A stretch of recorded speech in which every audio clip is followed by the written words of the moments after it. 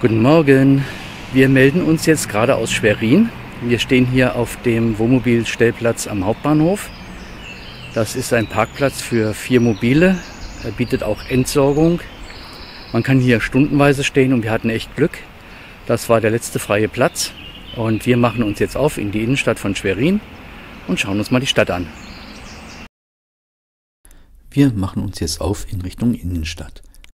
Die Paulskirche, 1869 geweiht, wird als die schönste Kirche Schwerins bezeichnet. Da das Innere auch trotz zweier Weltkriege nahezu unverändert erhalten geblieben ist, ist sie ein eindrucksvolles Beispiel der Schweriner Kirchenkunst des 19. Jahrhunderts. Durch die Schweriner Gässchen sind wir jetzt auf dem Weg zum Dom und zum Marktplatz. Die Kathedrale wurde 1270 begonnen. Sie ist mit fast 27 Metern Gewölbehöhe eine der größten Kirchen der Backsteingotik in Norddeutschland. Das Triumphkreuz von 1420 stammt aus einer im Krieg zerstörten Kirche Wismars. Im Chorumgang ist die Grablege der mecklenburgischen Fürsten. Das Highlight auf dem Marktplatz ist das Denkmal zum 800. Todestag von Heinrich dem Löwen, das durchaus kritisch ist, wie zum Beispiel die Badowicker Gesäßhuldigung zeigt. Wer in Schwerin ist, der sollte unbedingt auch mal hierher kommen, nämlich in die enge Gasse 2. Denn hier gibt es was ganz Tolles. Das zeigen wir euch jetzt mal. Ich stehe jetzt hier vor Ilka Eis. Und das ist eine kleine Eismanufaktur, die Softeis herstellt. Äh, standardmäßig immer Schokolade, Vanille und dann gibt es noch den Geschmack des Tages und das ist heute Waldfrucht und Joghurt. Das Besondere dabei ist allerdings bei Ilka Eis, dass es A auf alten ehemaligen DDR-Eismaschinen, nämlich den Ilka Eisfreezern, hergestellt wird. Sie wurden komplett saniert, restauriert und äh, neu gewartet. Und hier werden ausschließlich äh, natürliche Zutaten, also richtige Schokolade, ähm, Bonbonvanille und so weiter für das Eis verwendet. Das ist wahnsinnig lecker und das holen wir uns jetzt mal.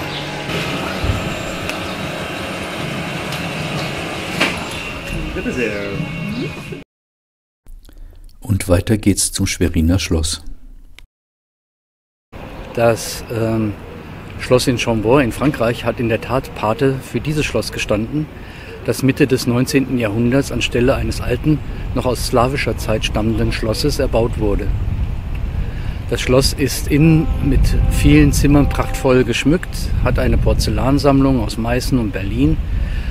Ja, es gibt einiges zu sehen. Leider sind die meisten Räume wegen Corona geschlossen.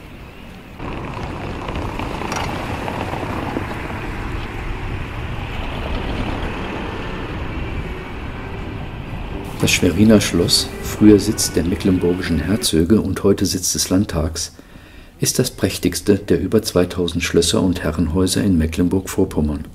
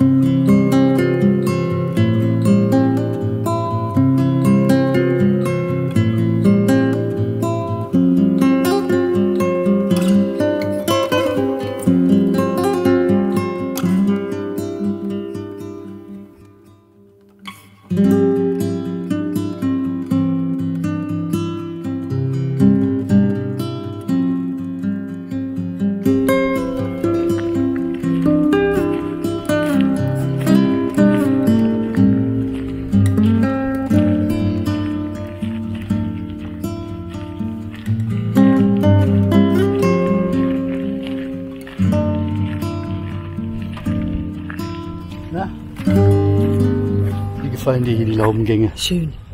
Ganz toll. Ganz toll, gell? Ja, und schön groß. Auf jeden Fall. Genau. Jetzt biegen wir hier ab. Genau.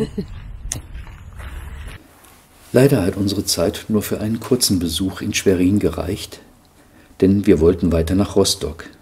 Da ja vieles wegen Corona geschlossen war, sind wir über die Autobahn direkt dorthin gefahren. Wir haben uns natürlich für den Stellplatz direkt am Hafen entschieden. Links abbiegen. in die Straße Stadthafen.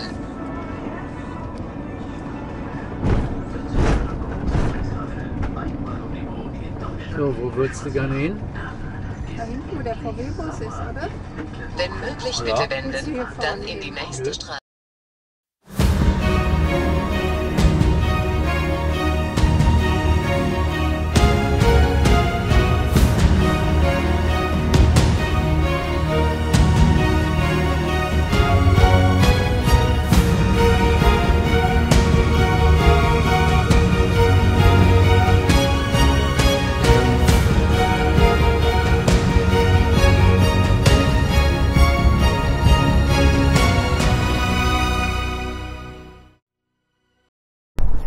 Wir sind jetzt hier am Stadthafen von Rügen. Da haben wir uns hingestellt. Das ist ein Stellplatz für, keine Ahnung, eine ganze Reihe Mobile. Kostet 15 Euro die Nacht, bietet keinen Service, ne? Nee. Bietet keinerlei Service, ist aber ähm, ganz, ganz nah an der Stadt. Ja, wir machen jetzt noch einen kleinen Ausflug in die Stadt rein. Schauen uns erstmal ein bisschen um, bevor wir morgen dann unser eigentliches Sightseeing machen. Die Kröpeliner Straße ist die Haupteinkaufsstraße Rostocks und war 1968 eine der ersten Fußgängerzonen in der DDR. Die prächtigen Häuser in der Kröpeliner Straße wurden nach dem Krieg aufwendig und oftmals originalgetreu wieder aufgebaut und restauriert. Na, nichts gefunden. Nee, muss ja auch nicht sein. Hast du das Haus? Die Geschichte des Rathauses reicht weit zurück bis ins 13. Jahrhundert und es ist damit der älteste erhaltene Profanbau der Stadt Rostock.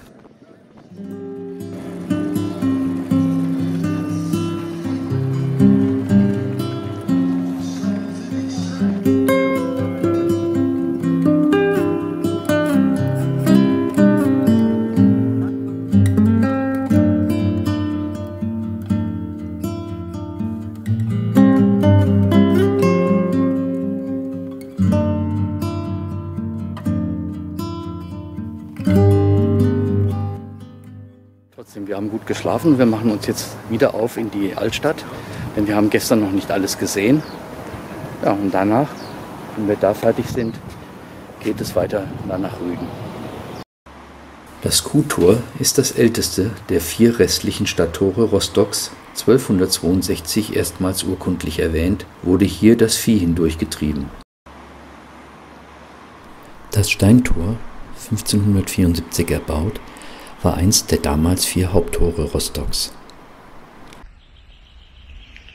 Im Jahr 1270 angeblich durch Königin Margarete von Dänemark gegründet und benannt nach der Gründungsreliquie, einem Splitter vom Kreuz Christi, das sie von einer Pilgerfahrt nach Rom mitgebracht haben soll. Mittlerweile ist das Kloster Museum und die Kirche Universitätskirche. Die Marienkirche wurde 1290 begonnen und nach knapp 200 Jahren fertiggestellt.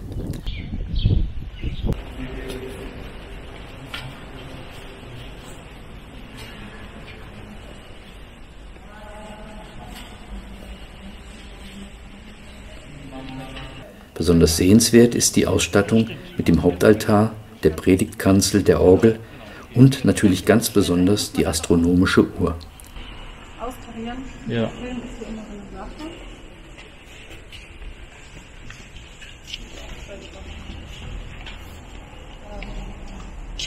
Die heutige Uhr ersetzte 1472 die erste Uhr von 1379.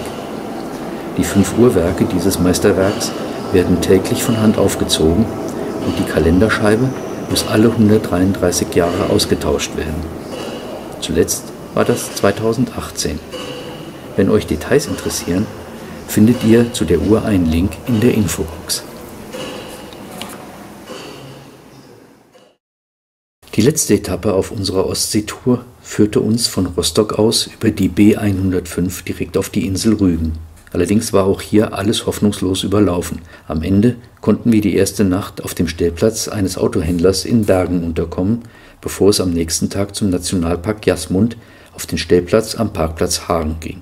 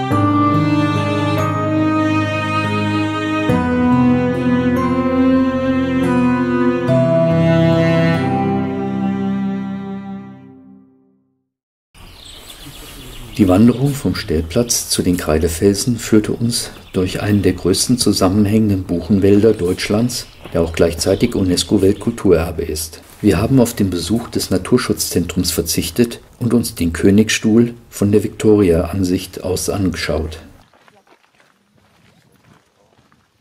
Bei der Wanderung entlang der Küste Richtung Sassnitz stellten wir fest, dass alle Treppen, die nach unten zum Ufer führen, bis auf die in Sassnitz gesperrt waren. Wir haben daher auf halbem Wege abgebrochen und sind durch den Buchenwald zurück zum WOMO.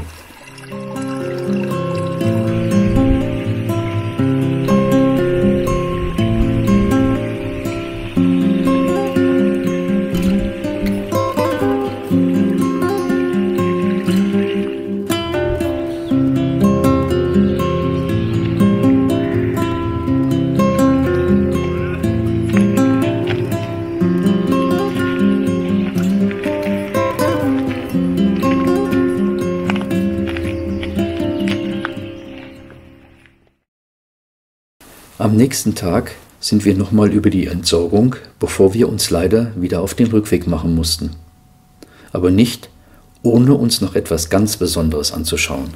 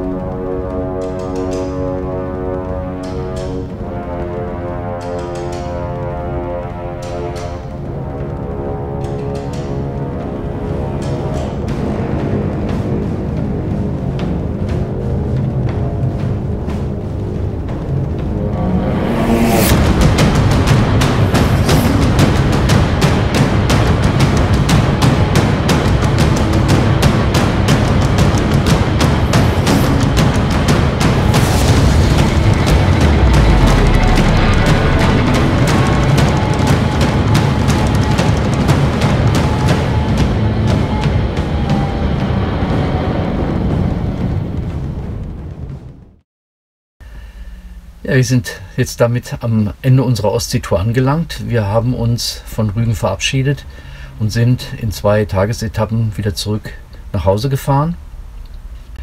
Wir sagen danke fürs Zuschauen, abonniert unseren Kanal und damit ihr nichts verpasst, einfach unten abonnieren, auf das Logo klicken. Alle Infos wie äh, die Stellplatzkoordinaten und weiterführende Links und ähnliches, das findet ihr unten in der Infobox. Wenn ihr unterwegs seid, fahrt vorsichtig, kommt gut an. Wir wünschen euch viel Spaß auf euren Reisen und bis zum nächsten Mal. Wir sagen Tschüss, macht's gut.